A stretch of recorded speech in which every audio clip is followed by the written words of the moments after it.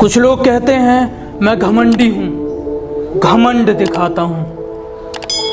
आपसे समझने में थोड़ी गलती हुई है। मैं घमंड नहीं सामने वाले को उसकी औकात दिखाता हूँ। सब्सक्राइब कीजिए कूल टेक रवि को और बेल आइकन को कीजिए ऑल प्रेस। नए नए एडिटिंग वीडियो देखने के लिए।